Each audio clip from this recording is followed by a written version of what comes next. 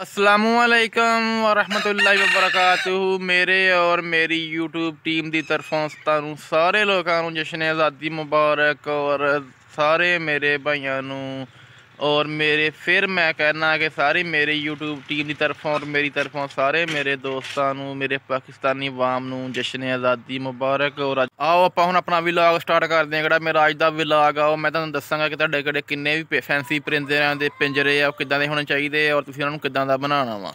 ਅਸੀਂ ਅਕਸਰ ਲੋਕੀ ਫੈਂਸੀ ਪਰਿੰਦੇ ਰੱਖਣ ਦਾ ਸ਼ੌਕ ਰੱਖਦੇ ਆ ਲੇਕਿਨ ਸਾਨੂੰ ਇਹ ਨਹੀਂ ਪਤਾ ਹੁੰਦਾ ਕਿ ਅਸੀਂ ਉਹਨਾਂ ਨੂੰ ਕਿੱਦਾਂ ਰੱਖਣਾ ਵਾ ਔਰ ਉਹਨਾਂ ਦੀ ਕੇਅਰ ਵਾਸਤੇ ਸਾਨੂੰ ਕੀ ਕੀ ਕਰਨਾ ਚਾਹੀਦਾ ਵਾ। ਸਭ ਤੋਂ ਪਹਿਲੇ ਉਹਨਾਂ ਦਾ ਕੋਈ ਵੀ ਇਨਸਾਨ ਆ ਜਾਂ ਕੋਈ ਵੀ ਜਾਨਵਰ ਆ, ਉਹਦੀ ਰਹਿਣ ਦੀ ਜਗ੍ਹਾ ਹੋਣੀ ਚਾਹੀਦੀ ਆ ਔਰ ਅੱਛੀ ਹੋਣੀ ਚਾਹੀਦੀ ਆ ਔਰ ਉਹਦੇ ਨਾਲ ਕਾਫੀ ਹੱਦ ਤੱਕ ਜਾਨਵਰ ਨੂੰ, ਇਨਸਾਨ ਨੂੰ, ਕੋਈ ਵੀ ਦੁਨਿਆਵੀ ਚੀਜ਼ ਦਾ ਉਹਨੂੰ ਸਕੂਨ ਮਹਿਸੂਸ ਹੁੰਦਾ। ਤੇ ਅਸੀਂ ਇਦਾਂ ਕਰਦੇ ਹਾਂ ਕਿ ਸਾਡੇ ਪਰਿੰਦੇ ਨੂੰ ਜੋ ਮਾਹੌਲ ਚਾਹੀਦਾ ਹੁੰਦਾ, ਅਸੀਂ ਉਹਨਾਂ ਨੂੰ ਉਹ ਨਹੀਂ ਦਿੰਨੇ, ਉਹਦੀ ਵਜ੍ਹਾ ਸਾਡੇ ਪਰਿੰਦੇ ਕਾਫੀ ਜ਼ਿਆਦਾ ਖੜੇ ਆ, ਜ਼ਾਇਆ ਹੋ ਜਾਂਦੇ ਆ, ਸਾਨੂੰ ਨੁਕਸਾਨ ਹੁੰਦਾ ਵਾ। ਤੁਹਾਨੂੰ ਮੈਂ ਦੱਸਾਂਗਾ ਕਿ ਤੁਹਾਡਾ ਜਿਹੜਾ ਸ਼ੈੱਡ ਆ, ਉਹ ਕਿਦਾਂ ਦਾ ਹੋਣਾ ਚਾਹੀਦਾ ਵਾ, ਔਰ ਉਹ 'ਚ ਮਸਲਾ ਉਹਦੀ ਸ਼ਕਲ ਕੈਸੀ ਹੋਣੀ ਚਾਹੀਦੀ ਆ। ਉਹ ਮੈਂ ਤੁਹਾਨੂੰ ਲਿਜਾਣਾ ਹੁਣ ਆਪਣੇ ਸ਼ੈੱਡ ਦੀ ਤਰਫ। ਕਿਹੜੇ ਪਿੰਜਰੇ ਮੈਂ ਬਣਾਏ ਹੋਏ ਆ, ਤੁਹਾਨੂੰ ਮੈਂ ਦਿਖਾਣਾ ਕਿ ਉਹਨਾਂ 'ਚ ਮਾਸ਼ਾਅੱਲਾ ਮੇਰੇ ਜਾਨਵਰ ਹੈਲਦੀ ਵੀ ਆ ਔਰ ਖੁਸ਼ ਵੀ ਆ, ਔਰ ਅੱਛਾ ਵੀ ਫੀਲ ਕਰਦੇ ਆ। ਉਹਦੀ ਕੀ ਵਜ੍ਹਾ ਵਾ ਕਿ ਮੇਰੇ ਪਿੰਜਰਿਆਂ ਦੀ ਸ਼ਕਲ ਬਿਲਕੁਲ ਸਹੀ ਆ, ਕਿਦਾਂ ਹੋਣੀ ਚਾਹੀਦੀ ਸੀ, ਮੈਂ ਉਦਾਂ ਹੀ ਬਣਾਏ ਆ। ਆਓ, ਚੱਲਦੇ ਆ। ਤੁਹਾਨੂੰ ਸਾਰਿਆਂ ਨੂੰ ਪਤਾ ਕਿ ਕਿਹੜਾ ਸੂਰਜ ਆ, ਉਹ ਮਸ਼ਰਕ ਦੀ ਤਰਫੋਂ ਤਲੂ ਹੁੰਦਾ ਔਰ ਮਗਰਬ ਦੀ ਤਰਫ ਜਾ ਕੇ ਉਹ ਗਰੂਬ ਹੋ ਜਾਂਦਾ। ਤੇ ਅਸੀਂ ਇਦਾਂ ਕਰਦੇ ਹਾਂ ਕਿ ਅਕਸਰ ਹੀ ਜਿਹੜੇ ਸਾਡੇ ਸ਼ੈੱਡ ਹੁੰਦੇ ਆ, ਸਾਡੇ ਪਿੰਜਰੇ ਹੁੰਦੇ ਆ, ਅਸੀਂ ਉਹਨਾਂ ਦਾ ਮਸ਼ਰਕ ਔਰ ਮਗਰਬ ਵਾਲ ਨੂੰ ਕਿਹੜਾ ਮਸਲਨ ਦੋਵੇਂ ਸਾਈਡਾਂ ਕਰ ਦਿੰਦੇ ਆ ਸਾਨੂੰ ਇਦਾਂ ਨਹੀਂ ਕਰਨੀ ਚਾਹੀਦੀ, ਸਾਨੂੰ ਬਿਲਕੁਲ ਸੈਂਟਰ 'ਚ ਰੱਖ ਕੇ ਬਣਾਉਣਾ ਚਾਹੀਦਾ ਕਿ ਜਦੋਂ ਸਵੇਰ ਟਾਈਮ ਸੂਰਜ ਤਲੂ ਹੋਵੇ ਤੇ ਤੁਹਾਡੇ ਪਿੰਜਰੇ ਦੇ ਵਿੱਚ ਸਿੱਧੀ ਕੜੀ ਇਹਦੀ ਸੂਰਜ ਦੀ ਰੋਸ਼ਨੀ ਪਵੇ? ਕਿਉਂਕਿ ਸੂਰਜ ਦੀ ਰੋਸ਼ਨੀ ਨਾਲ ਤੁਹਾਨੂੰ ਇਹ ਫਾਇਦਾ ਹੋਊਗਾ ਕਿ ਤੁਹਾਡੇ ਕਿੰਨੇ ਵੀ ਸ਼ੈੱਡ ਦੇ ਵਿੱਚ ਜਰਾਸੀਮ ਹੋਏ ਆ ਪੈਦਾ ਬਿਮਾਰੀਆਂ ਵਾਲੇ ਮਸਲਨ ਕਿੰਨੇ ਵੀ ਜਰਾਸੀਮ ਖਤਰਨਾਕ ਆ, ਸੂਰਜ ਦੀ ਰੋਸ਼ਨੀ ਉਹਨੂੰ ਖਤਮ ਕਰਦੀ ਆ। ਔਰ ਦੋ ਟਾਈਮ ਤੁਹਾਡੇ ਸੂਰਜ ਦੀ ਜਦੋਂ ਰੋਸ਼ਨੀ ਤੁਹਾਡੇ ਸ਼ੈੱਡ ਦੇ ਵਿੱਚ ਦੀ ਗੁਜ਼ਰੇਗੀ ਸਵੇਰ ਨੂੰ ਵੀ, ਸ਼ਾਮ ਨੂੰ ਵੀ, ਤੇ ਤੁਹਾਡਾ ਜਿਹੜਾ ਸ਼ੈੱਡ ਵਾ ਮਸਲਨ ਉਹ ਜਰਾਸੀਮ ਤੋਂ ਪਾਕ ਹੋ ਜਾਏਗਾ, ਸੂਰਜ ਦੀ ਰੋਸ਼ਨੀ ਜਰਾਸੀਮ ਨੂੰ ਖਤਮ ਕਰ ਦੂਗੀ। ਬਾਕੀ ਤੁਸੀਂ ਸ਼ੈੱਡ ਕਿਦੋਂ ਵੀ ਬਣਾਉਣਾ, ਤੁਸੀਂ ਇੱਕ ਗੱਲ ਦਾ ਖਾਸ ਖਿਆਲ ਰੱਖਣਾ ਕਿ ਸੂਰਜ ਦੀ ਰੋਸ਼ਨੀ ਦੇ ਨਾਲ ਨਾਲ ਇਹਦਾ ਹਵਾ ਦਾ ਵੀ ਕਰਾਸ ਹੋਵੇ। ਅਸੀਂ ਅਕਸਰ ਇਦਾਂ ਕਰਦੇ ਹਾਂ ਕਿ ਬਸ ਇੱਕ ਜਾਲੀ ਔਰ ਇੱਕ ਖਿੜਕੀ ਹੀ ਲਗਾਉਂਦੇ ਆ ਔਰ ਅਸੀਂ ਹਵਾ ਦਾ ਕ੍ਰਾਸ ਨਹੀਂ ਰੱਖਦੇ।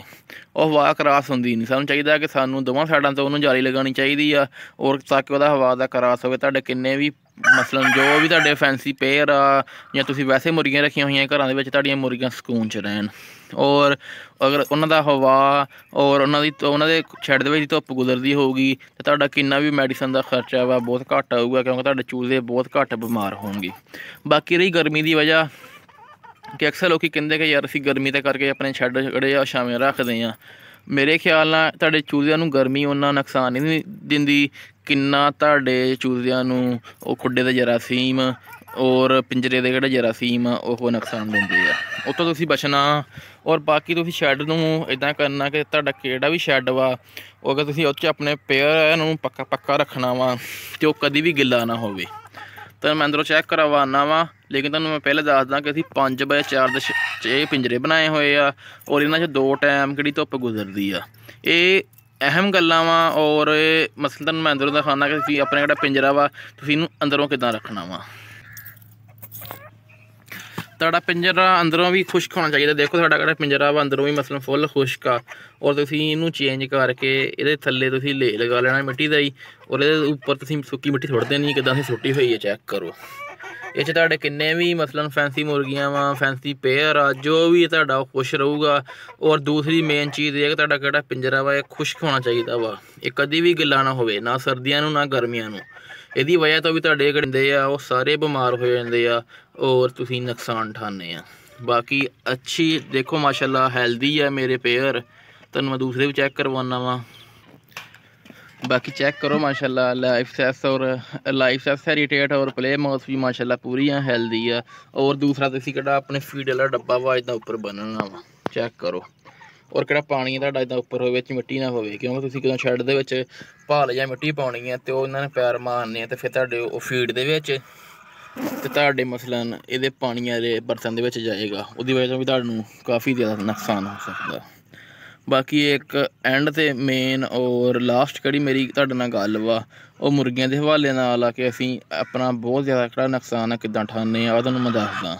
ਉਧਰ ਆਪਣੀਆਂ ਦੇਸੀ ਮੁਰਗੀਆਂ ਤੁਹਾਨੂੰ ਮੈਂ ਲਿਜਾਣਾ ਤੁਹਾਨੂੰ ਮੈਂ ਦਿਖਾਣਾ ਬਾਕੀ ਦੇਖੋ ਸਾਡਾ ਕਿਹੜਾ ਫੈਂਸੀ ਤੇ ਤੁਹਾਨੂੰ ਮੈਂ ਦਿਖਾਇਆ ਦਿਖਾਇਆ ਸਾਡਾ ਆਪਣਾ ਸੈਟਅਪ ਲੇਕਿਨ ਸਾਡਾ ਕਿਹੜਾ 골ਡਨ ਦੇਸੀ ਮੁਰਗੀ ਦਾ ਵੀ ਸਾਡਾ ਕਿਹੜਾ ਸ਼ੈੱਡ ਆ, ਉਹ ਵੀ ਅਸੀਂ ਹਵਾ ਕਰਾਸ ਹੁੰਦੀ ਆ ਫੁੱਲ ਚੈੱਕ ਕਰੋ।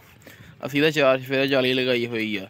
ਅਗਰ ਮਤਲਬ ਬਾਰਿਸ਼ ਹੁੰਦੀ ਆ ਤੇ ਅਸੀਂ ਇਹ ਕਪੜਾ ਲਗਾਇਆ ਹੋਇਆ ਸਾਈਡ ਤੇ, ਇਹ ਅਸੀਂ ਅੱਗੇ ਕਰ ਦਈਦਾ ਵਾ। ਇਹ ਸਸਤਾ ਹੀ ਐਡਾ ਕੋਈ ਮਹਿੰਗਾ ਨਹੀਂ, ਤੁਹਾਨੂੰ ਬਾਜ਼ਾਰੋਂ ਮਿਲ ਜਾਂਦਾ ਇਹ। ਕੀਤੇ ਸਲਾਏ ਹੁੰਦੇ ਆ ਇਹ। ਹੁਣ ਤੁਹਾਨੂੰ ਮੈਂ ਐਂਡ ਤੇ ਮੇਨ ਔਰ ਲਾਸਟ ਗੱਲ ਦੱਸਾਂ ਕਿ ਅਸੀਂ ਕਿਦੋਂ ਆਪਣੀ ਮੁਰਗੀਆਂ ਨੂੰ ਸਟਾਰਟਿੰਗ ਦੇ ਵਿੱਚ ਫੀਡ ਪਾਉਂਦੇ ਆ ਸਟਾਰਟਰ ਫੀਡ ਆਪਣੇ ਚੂਜ਼ੇ ਨੂੰ ਪਾਉਂਦੇ ਆ।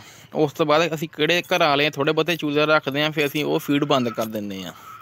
ਫੀਡ ਦੁਬਾਰਾ ਸਟਾਰਟ ਕਰ ਦਿੰਦੇ ਆ ਕਿ ਅਸੀਂ ਆਪਣੇ ਚੂਜ਼ਾਂ ਨੂੰ ਜਲਦੀ ਤੋਂ ਜਲਦੀ ਫੇਰ ਵੱਡੇ ਕਰੀਏ। ਸਾਨੂੰ ਇਦਾਂ ਨਹੀਂ ਕਰਨੀ ਚਾਹੀਦੀ, ਕਿਉਂਕਿ ਇਦਾਂ ਕਰਨ ਨਾਲ ਕਿਹੜੇ ਆ, ਇਹਨਾਂ ਦਾ ਮਸਲਨ ਪੇਟ ਦਾ ਨਿਜ਼ਾਮ ਆ, ਉਹ ਖਰਾਬ ਹੋ ਜਾਂਦਾ ਔਰ ਇਹਨਾਂ ਨੂੰ ਬੁਖਾਰ ਹੁੰਦਾ ਔਰ ਬੁਖਾਰ ਦੀ ਬਾਅਦ ਇਹਨਾਂ ਦਾ ਜਿਗਰ ਨੂੰ ਮਸਲਾ ਬੰਦ ਹੁੰਦਾ ਔਰ ਇਹ ਜ਼ਾਇਆ ਹੋ ਜਾਂਦੇ। ਅਸੀਂ ਵੀ ਕਾਫੀ ਦਿਨ ਪਹਿਲੇ ਇਦਾਂ ਕਾਫੀ ਨੁਕਸਾਨ ਠਾ ਚੁੱਕੇ ਹਾਂ, ਅਸੀਂ ਪਹਿਲੇ ਫੀਡ ਪਾਉਂਦੇ ਸੀ ਫਿਰ ਅਸੀਂ ਫੀਡ ਬੰਦ ਕਰਤੀ। ਹੁਣ ਅਸੀਂ ਕਿਹਾ ਕਿ ਦੁਬਾਰਾ ਅਸੀਂ ਫੀਡ ਪਾਉਂਦੇ ਆ ਅਸੀਂ ਫੀਡ ਪਾਉਂਦੇ ਰਹੇ ਅਸੀਂ ਕਾਫੀ ਦਿਨ ਤੱਕ ਅਸੀਂ ਇਹਨਾਂ ਨੂੰ ਦੇਖਦੇ ਰਹੇ ਕਿ ਸਾਡੇ ਹਰ ਰੋਜ਼ 2 3 4 2 3 4 ਚੂਹੇ ਲਗਾਤਾਰ ਮਰਦੇ ਰਹੇ। ਅਸੀਂ ਇੱਕ ਡਾਕਟਰ ਨਾਲ ਸਲਾਹ ਕੀਤੀ ਸੀ ਇਹਨੂੰ ਪੁੱਛਿਆ ਕਿ ਯਾਰ ਸਾਡੇ ਚੂਹੇ ਨੂੰ ਇਦਾਂ ਹੋ ਰਹੀ ਉਹਨੇ ਕਿ ਆਪਣੀ ਤੁਸੀਂ ਫੀਡ ਬੰਦ ਕਰ ਦਿਓ। ਤੁਸੀਂ ਆਪਣੇ ਚੂਹਿਆਂ ਨੂੰ ਹੁਣ ਫੀਡ ਨਾ ਪਾਓ, ਤੁਸੀਂ ਇਹਨਾਂ ਨੂੰ ਹੁਣ ਦੇਸੀ ਖੁਰਾਕ ਹੀ ਪਾਓ, ਕਿਹੜੀ ਤੁਸੀਂ ਇਹਨਾਂ ਨੂੰ ਦੇ ਰਹੇ ਆ।